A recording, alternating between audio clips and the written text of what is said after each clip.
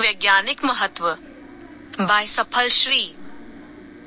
महाशिवरात्रि का वैज्ञानिक महत्व। महाशिवरात्रि हिंदुओं का एक महत्वपूर्ण पर्व है, जिसे फाल्गुन माह की कृष्ण पक्ष की तेरस चतुर्दशी को हर वर्ष मनाया जाता है। अंग्रेज़ी कैलेंडर के अनुसार यह तिथि प्रत्येक वर्ष फरवरी अथवा मार्च पड़ती है। डंडा ऐसा माना जाता है कि सृष्टि के आरंभ में इसी दिन मध्य रात्रि को भगवान भोलेनाथ कालेश्वर के रूप में प्रकट हुए थे। महाकालेश्वर भगवान शिव की वह शक्ति है जो सृष्टि का समापन करती है। महादेव शिव जब तांडव नृत्य करते हैं तो पूरा ब्रह्मांड विखंडित होने लगता है। इसलिए इसे महाशिवरात्रि की कालरात्रि भी कहा गया है।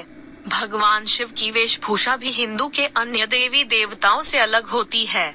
श्री महादेव अपने शरीर पर चिता की भस्म लगाते हैं, गले में रुद्राक्ष धारण करते हैं और नंदी बैल की सवारी करते हैं। भूत प्रेत निशाचर उनके अनुचर माने जाते हैं। ऐसा विभत्स रूप धारण करने के उपरांत भी उन्हें मंगलकारी माना जाता है, जो अपने भक्त की पल भर की उपासना से ही प्रसन्न हो जाते हैं और उसकी मदद करने के लिए दौड़े चले आते हैं। इसीलिए उन्हें आशुतोष भी कहा गया है। भगवान शंकर अपने भक्तों की न सिर्फ़ कष्ट दूर करते हैं, बल्कि उन्हें श्री और संपत्ति भी प्रदान करते हैं। महाशिवरात्रि की कथा में उनके इसी दयालु और कृपालु स्वभाव का वर्णन किया गया है। कहा जाता है कि हरिद्वार में हो रहे कुंभ मेले पर शाही स्नान इसी दिन शुरू हुआ था और प्रयाग में माघ मेले और कुंभ मेले का समापन महाशिवरात्रि के स्नान के बाद ही होता है। डंडा महाशिवरात्रि के दिन से ही होली पर्व की शुरुआत हो जाती है। महादेव को रंग चढ़ाने के बाद ही होलिका की रंग बयार शुरू हो जाती है। बहुत से लोग ईखे अबेर भी तब तक नहीं खाते जब तक महाशिवरात्रि पर भगवान शिव को अर्पित न कर दें। प्रत्येक राज्य में शिव पूजा उत्सव को मनाने के भिन्न भिन्न तरीके हैं लेकिन सामान्य रूप से शिव पूजा में भाँग धतूरा गांजा और बेल ही चढ़ाया जाता है जहाँ भी ज्योतिर्लिंग हैं, वहाँ पर भस्म आरती रुद्राभिषेक और जलाभिषेक कर भगवान शिव का पूजन किया जाता है ऐसी मान्यता है कि महाशिवरात्रि के दिन ही शंकर जी का विवाह माता पार्वती जी से हुआ था। उनकी बारात निकली थी। इसका महत्व और भी बढ़ जाता है क्योंकि महाशिवरात्रि का पर्व स्वयं परमपिता परमात्मा के सृष्टि पर अवतरित होने की याद दिलाता है। महाशिवरात्रि के दिन व्रत धारण करने से सभी पापों का नाश होता है और मनुष्य की हिंसक प्रवृत्ति भी नियंत्रित होती है। निरीह लोगों के प्रति दया भाव उपजता है।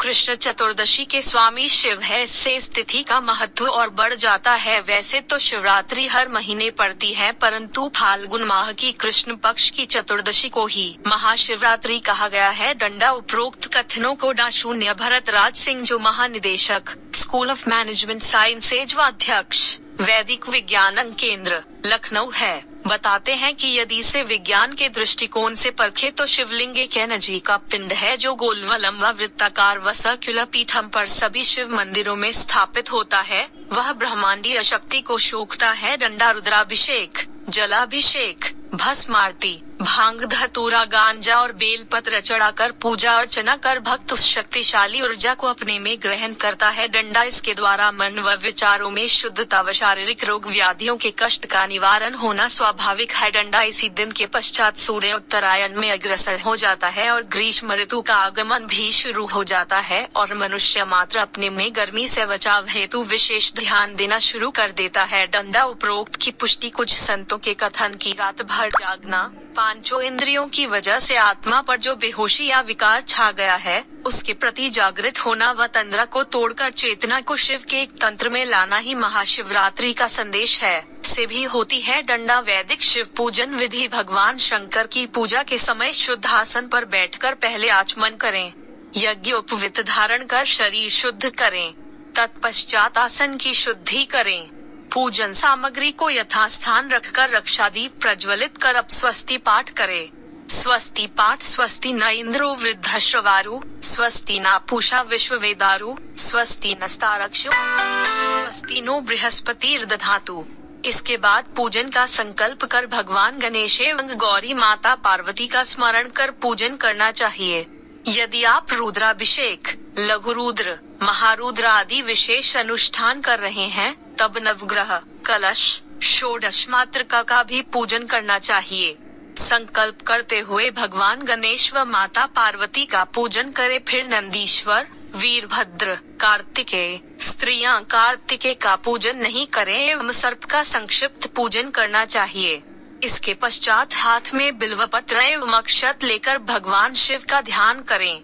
भगवान शिव का ध्यान करने के बाद आसन आचमन स्नान दही स्नान घी स्नान शहद स्नान व शक्कर स्नान कराएँ। इसके बाद भगवान का एक साथ पंचामृत स्नान कराएँ। फिर सुगंध स्नान कराएँ, फिर शुद्ध स्नान कराएँ। अब भगवान शिव को वस्त्र चढ़ाएँ। वस्त्र के बाद जनेऊ चढ़ाएँ। फिर सुगंध इतर अक्षत पुष्पमाला बिल्व पत्र चढ़ाएँ। अब भगवान शिव को विविध प्रकार के फल चढ़ाएँ।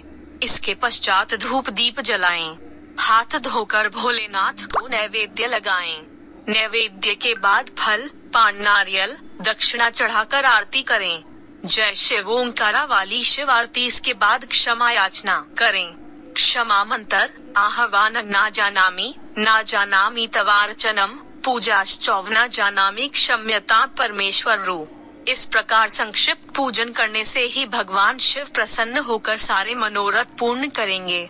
घर में पूरी श्रद्धा के साथ साधारण पूजन भी किया जाए तो भगवान शिव प्रसन्न हो जाते हैं।